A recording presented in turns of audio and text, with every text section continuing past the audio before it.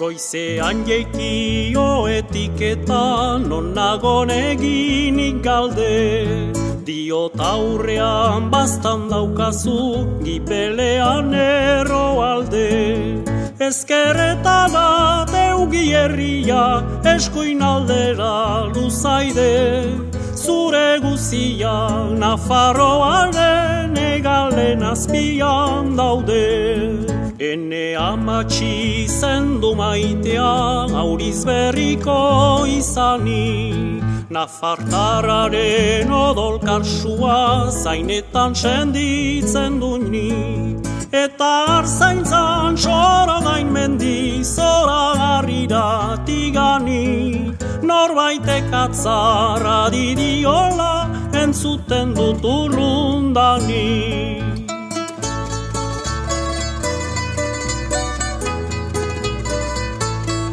Ene sortzeko agerietan ni naiz basena bartara Titulu horren lehen itzean galtzen du bere indarra. Ni beretar zendako deitu neurez baina izorotarra Goita begerik ez da neretzan nafarro banda bakarra. Bere zainetan sendiduena astapeneko odola. Eman dioten izen mendreaz nekez daiteke kontsola. Ezin onartuz bizi naiz beti murrizturik handagola.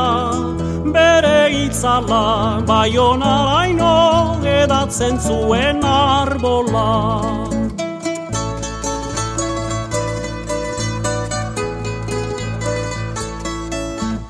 Baina nenetzat ona farroa ez da ezin igarria. Izena nola gorde duzuntzok eta guk harto berria.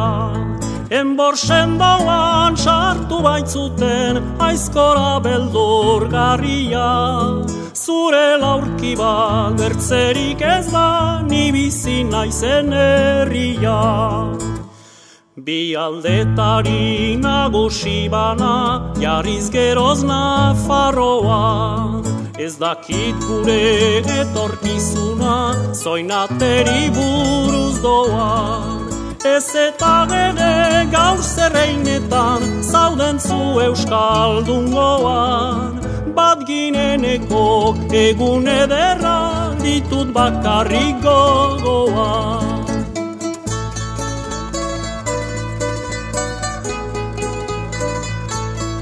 Betitikako arraina undien lege okazta